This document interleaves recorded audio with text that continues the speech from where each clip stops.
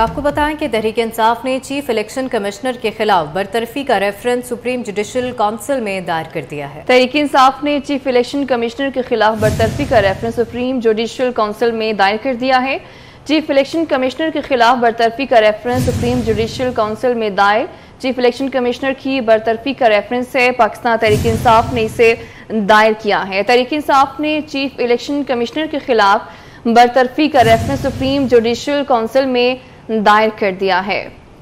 तहरीक इंसाफ ने chief election commissioner के खिलाफ बरतरफी का रेफरेंस सुप्रीम जुडिशल काउंसिल में दायर कर दिया है। चीफ इलेक्शन कमिश्नर की बरतरफी का रेफरेंस पाकिस्तान तहरीक इंसाफ ने दायर किया था और तहरीक इंसाफ ने चीफ इलेक्शन कमिश्नर के खिलाफ बरतरफी का रेफरेंस सुप्रीम जुडिशल काउंसिल में दायर कर दिया है। इसी पर बात करेंगे। रुजीना अली हमारे साथ मौजूद हैं। रुजीना बताएगा इस रेफरेंस के हवाले से।